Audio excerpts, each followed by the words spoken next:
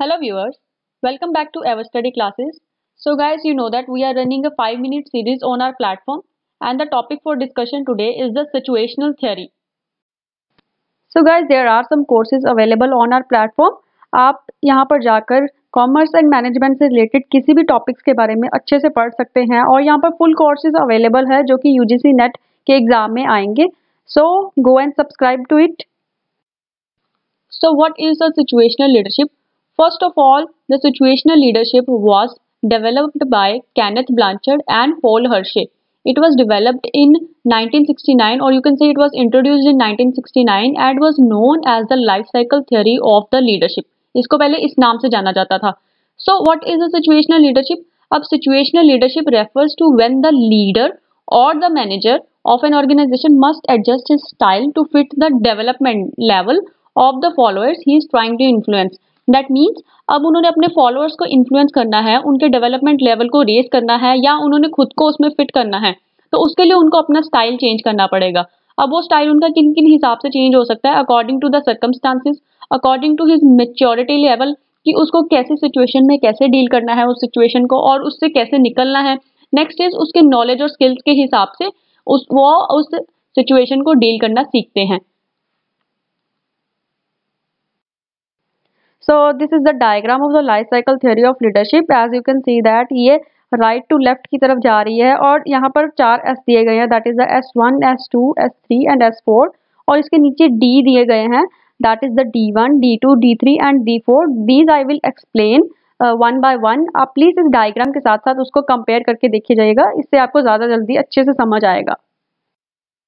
So there are some leadership styles जो मैंने आपको S one S two S three S four बताए थे, जो कि राइट टू लेफ़्ट की तरफ़ जा रहे थे। So S one meaning is कि ऐसे लीडर्स कौन होते हैं? They more believe in the telling वो ज़्यादा बताने में बिलीव करते हैं। दे आर हाईली डायरेक्टिव वो सीधा डायरेक्शन देंगे कमांड्स देंगे and they are low supportive ज़्यादा अच्छे से वो अपने फॉलोअर्स को सपोर्ट करना पसंद नहीं करते हैं। So these are also named as the directing styles इस टाइप के लीडर्स जो होते हैं, वो सिर्फ़ डायरेक्शन देते हैं, सिर्फ़ ऑर्डर देते हैं कमांड देते हैं और सपोर्ट जो है वो कम करते हैं।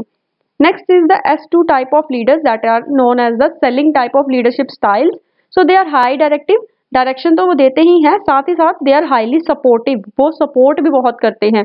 दे बिलीव कि अगर वो सपोर्ट करेंगे तो उनके एम्प्लॉयज़ जो है वो ज़्यादा अच्छे से काम कर पाएँगे और उनके सपोर्ट के लिए उनके मोटिवेशन के लिए, उनकी सपोर्ट की भी उनको ज़रूरत है।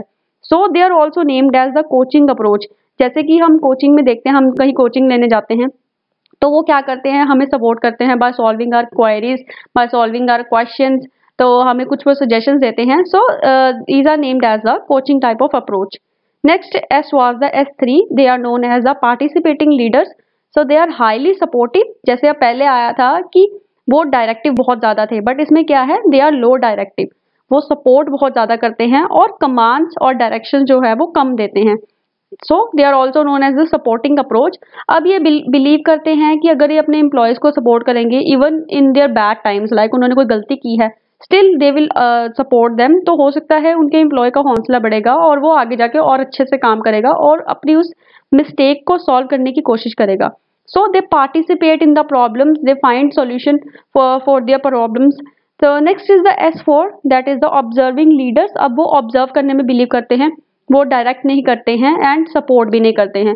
So they are known as the low supportive and low directive approach also known as the delegate delegating approach अब डिलीगेशन से नाम क्या पता लग रहा है कि वो अपनी रिस्पॉन्सिबिलिटी जो है, सारी की सारी अपने इंप्लॉयज़ पर डाल देते हैं और उनको सपोर्ट भी नहीं करते हैं और उनको बताते भी नहीं है, उनको काम कैसे करना है। अगर उनसे कोई गलती होती है तो वो उसको सही करने में उनकी हेल्प भी नहीं करते हैं। और ऑब्वियसली वो उनको बिल्कुल भी सपोर्ट नहीं करते और जस्ट दूर रहकर उनको ऑब्ज़र्व ही करते रहते हैं और उनको किसी भी उनकी प्रॉब्लम में हेल्प नहीं करते हैं। Next for the development levels जो मैंने आपको बताए थे D one D two and D three and D four so D one is that there are low in competence and high in commitment अब ये इम्प्लॉयज़ की तरफ़ से है कि उनकी कैसे कैसे डेवलपमेंट होती है, किस लेवल पर डेवलपमेंट होती है डी वन लेवल पर क्या होता है कि वो कॉम्पिटेंट कम होते हैं और कमिटमेंट में हाई होते हैं। दैट मीन्स कि अब जो लीडर्स भी हैं, उनका डेवलपमेंट लेवल क्या है कि वो बहुत ज़्यादा कमिटेड होते हैं अपने काम को लेकर बट कॉम्पिटेंसी लेवल उनमें कम होता है। वो कॉम्पिटिशन को प्रेफर नहीं करते, वो चाहते हैं कि उनकी लाइन एकदम क्लियर हो और उनके सामने कोई कॉम्पिटिटर ना हो। D two type of people are कि वो थोड़ी कॉम्पिटेंसी की हिम्मत रखते हैं, वो कॉम्पिटिशन चाहते हैं but they are low in commitment अगर उन्होंने किसी चीज़ के लिए प्रॉमिस किया है तो वो उसको इतनी जल्दी, इतनी ईजिली जो है वो पूरा नहीं करते फुलफिल नहीं करते हैं।